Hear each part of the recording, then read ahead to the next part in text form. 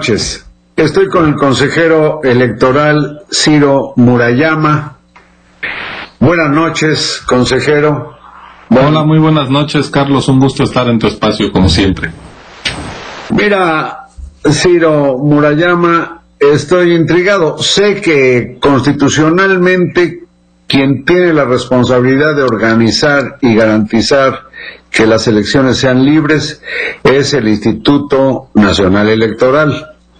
Y por lo tanto, pues esto de que el presidente de la República se vuelva guardián de las elecciones, él mismo ya lo, lo tamizó diciendo que, bueno, pues en todo caso para denunciar algunas eh, sospechas o algunos indicios que tenga, dice que los haría públicos. Pero yo me pregunto, pues, ¿qué habrán hecho ustedes, y me refiero a los consejeros del INE? Porque ya tiene mucho tiempo en que están eh, siendo citados y la institución como una fuente llena de vicios o de problemas y yo digo, pues, ¿qué hicieron ustedes? Si te pido sinceridad, estamos ante la audiencia. Claro que sí.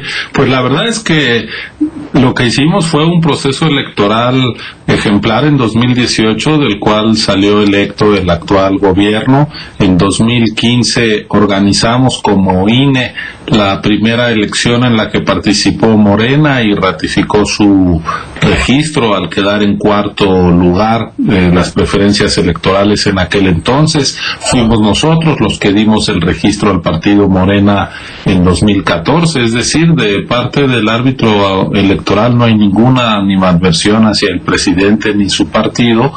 Y pues hemos tomado algunas decisiones que pueden haber incomodado a ese partido, como la sanción por el fideicomiso eh, después de los sismos de 2017, que a nosotros nos pareció que no era legal estar eh, teniendo recursos que no se reportaban a la autoridad electoral. Eso es un asunto que finalmente el Tribunal Electoral resolvió, pero también hemos impuesto sanciones, el IFE, el INE a distintos partidos, sin que ello haya generado animadversión. Nosotros, pues no somos parte de un litigio, no vamos a ser una parte que esté en confrontación con el Ejecutivo Federal porque a nosotros constitucionalmente nos corresponde otro lugar. Es decir, si a nosotros nos ponen una disyuntiva de conmigo o contra mí, pues el INE está ni contigo ni contra ti.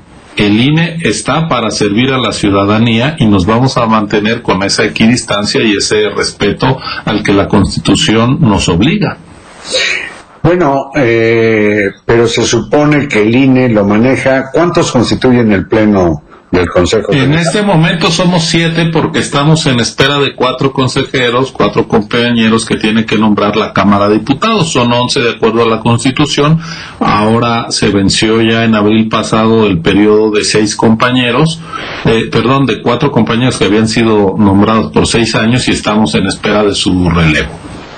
Lo que digo es que finalmente lo que resuelvan, digamos, aun por mayoría, 11 consejeros, si estuvieran completos, eh, pues hasta donde entiendo, eso no determina los resultados electorales.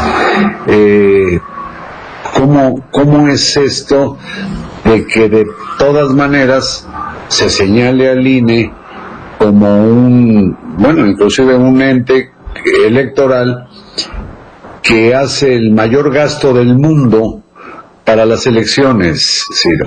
Bueno, eh, es un dato impreciso porque si vemos otras autoridades electorales del mundo, el costo por elector es mayor.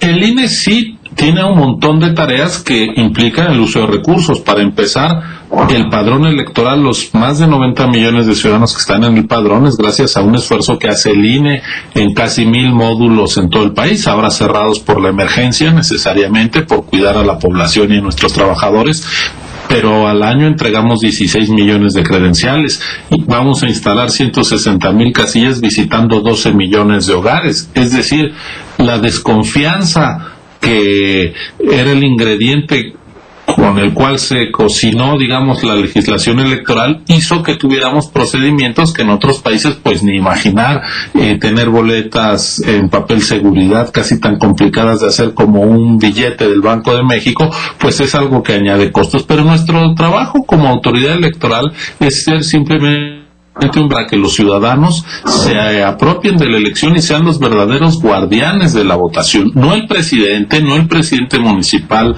de determinado ayuntamiento, no un gobernador. Afortunadamente, una de las salidas que México encontró para superar el sistema hegemónico de, un solo partido, ese modelo autoritario que vivimos buena parte del siglo XX, fue escindiendo la autoridad electoral y las tareas de organización de los comicios de la órbita de la presidencia de la República y de la Secretaría de Gobernación. Ese fue un paso muy relevante.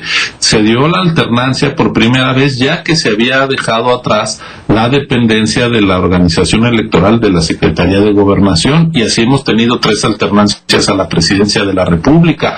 Eh, este modelo, además, se fue madurando y a partir de 2007, te acordarás, Carlos, que en 2006 el presidente Fox decía muchas cosas sobre el proceso electoral, no hay que cambiar de caballo a la mitad del río, llegó a expresar él. Bueno, para evitar que el presidente se metiera, así sea a través de dichos en la elección, se modificó el artículo 134 constitucional que hoy expresamente prohíbe que los servidores públicos y por supuesto el presidente de la República tenga injerencia en la vida político-electoral del país. Así que pues estamos ante un marco que todo mundo debemos de atender. Déjame contarte que hoy en la, a mediodía sesionó la Comisión de Quejas del INE para atender una denuncia del PRD y del PAN sobre el tema este del, del BOA, aquel que denunciaron en... Allá, el bloque opositor. Así es, y los partidos de oposición fueron ante la Comisión de Quejas y Denuncias del INE a decir esto es injerencia en una discusión político-electoral porque nos están acusando, en fin, el presidente no debe meterse en estos asuntos. Y la comisión de quejas eh, lo que puede hacer es emitir medidas cautelares. Determinó no emitir la medida cautelar porque es un acto ya consumado pero sí advirtió la comisión de quejas.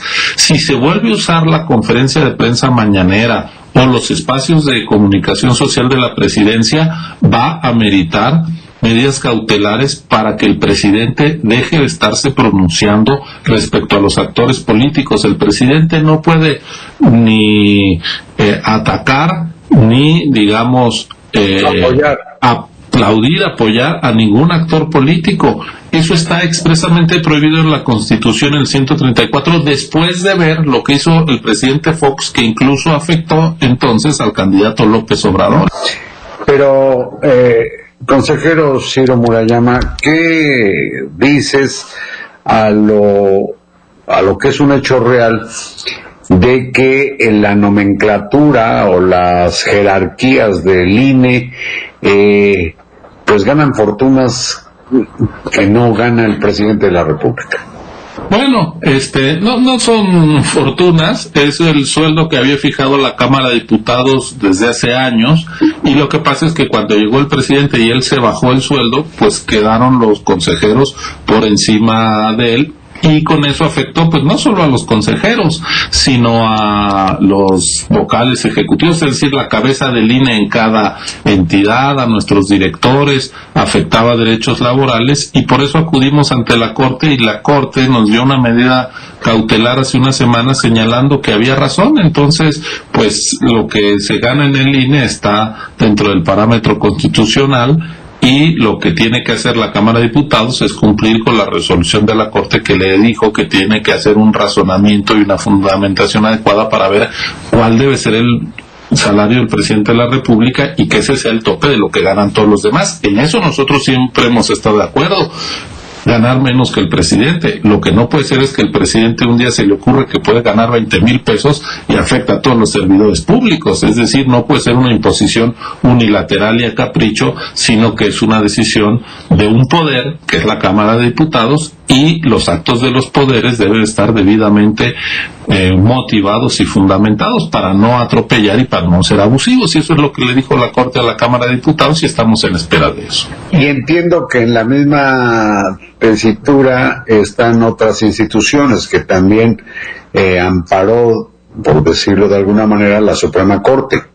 Sí, pues en general los órganos autónomos que precisamente como no dependemos de la voluntad presidencial, no somos, él no es nuestro jefe, pues consideramos que era incorrecto lo que estaba planteando y acudimos ante la Suprema Corte porque además eso está permitido a través del artículo 105 de la Constitución y la Corte pues ha ido eh, respaldando estas posturas. Entonces nosotros que hemos hecho mantenernos dentro del marco constitucional y legal, esa es nuestra obligación y es la eh, obligación de todos. La el, proceso electoral en puerta yo creo que debe de caracterizarse por no afectar aquellas condiciones de las elecciones limpias, libres y equitativas que estuvieron presentes en el 18, en el 15, en el es decir, cuando los que hoy están en el gobierno eran opositores y decían que no se meta el presidente, que no se usen los recursos de los programas sociales para beneficiar a sus candidatos, que haya cancha pareja. Aquello que se exigió que haya un árbitro imparcial, que no lo manden desde Palacio Nacional, pues aquellas demandas siguen siendo válidas. El INE ni forma parte de bloques opositores ni se alinea con el gobierno. Nosotros no festejamos triunfos electorales ni lloramos derrotas. Esas las propinan los ciudadanos votando en libertad. ¿Cuál es nuestro trabajo? Asegurar que la gente vote en libertad y en secreto. Y eso es lo que vamos a hacer en el 21. Pues a propósito de lo que viene en el 21, yo te pido, Ciro Murayama, que aguantes unos minutos para tratar y recordarle a la audiencia lo que serán las jornadas de mayor complejidad en la historia hasta donde entiendo y por qué no es eh, la jerarquía del INE, sino la ciudadanía desde su participación en las casillas, en los distritos, como funcionarios o representantes eh, pues de la población, quienes determinan los resultados electorales. ¿Aguantas aquí? Claro, con todo gusto, Carlos. Muchas gracias, Ciro Murayama, consejero del Instituto Nacional Electoral. Gracias a ustedes y hasta mañana.